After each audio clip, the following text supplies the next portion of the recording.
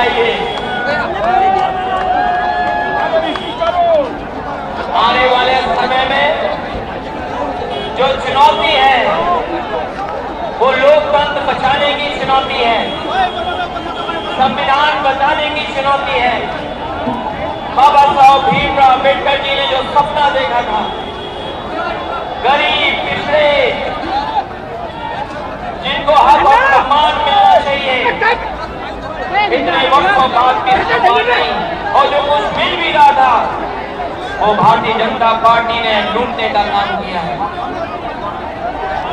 आज इस कार्यक्रम के बाद जो संदेश जा रहा है वो एक ही संदेश है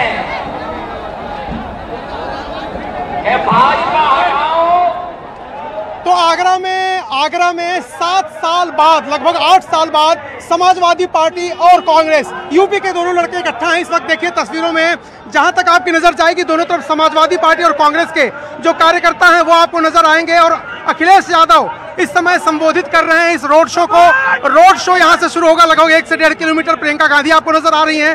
राहुल गांधी नज़र आ रहे हैं, उत्तर प्रदेश कांग्रेस के अध्यक्ष अजय राय नज़र आ रहे हैं।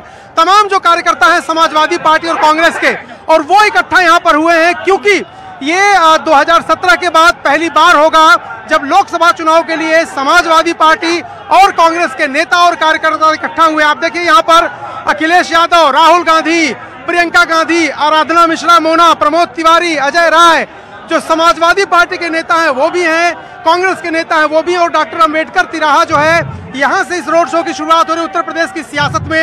एक नया प्रयोग 2017 में समाजवादी पार्टी और कांग्रेस दोनों ने मिलकर के विधानसभा चुनाव लड़ा था।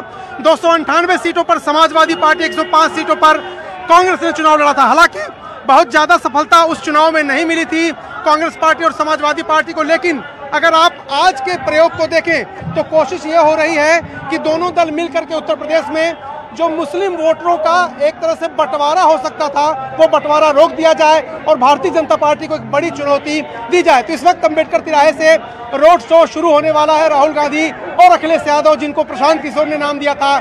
यूपी के दो लड़के